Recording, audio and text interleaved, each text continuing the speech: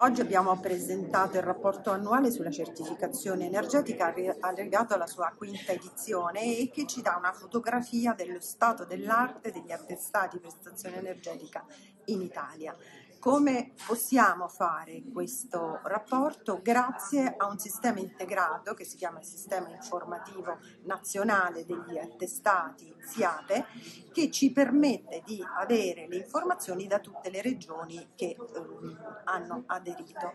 Bene, questo strumento ha raggiunto una certa maturità e costituisce una base fondamentale per i decisori politici sia a livello centrale ma sicuramente a livello regionale e comunale perché possano in virtù dello stato dell'arte degli edifici sia residenziali che pubblici capire quali possono essere i margini di miglioramento. Senza conoscere il dato, senza sapere dove sono, è difficile migliorare. In che modo questo può essere utile anche con la nuova PBD 4?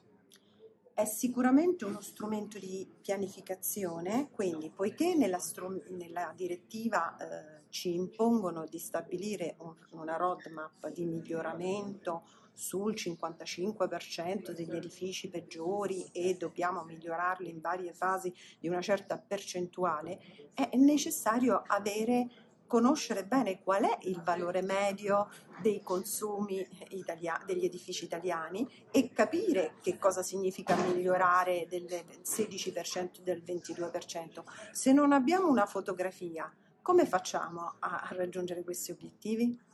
I dati dell'ultimo rapporto ci dicono che meno del 50 sono in classi più basse, un dato positivo riscontrato per la prima volta dopo 5 anni. Un commento a caldo su questo cosa rappresenta? Eh, rappresenta un primo passo eh, di tanto lavoro che tutto il paese fa, l'Enea è sicuramente molto impegnato, sicuramente i sistemi incentivanti hanno eh, contribuito e, e, secondo me hanno contribuito per dare appunto il buon esempio. Ora che dobbiamo fare molto di più, eh, è importante diffondere queste belle, buone pratiche e quindi questo eh, ci deve far capire che la strada è giusta.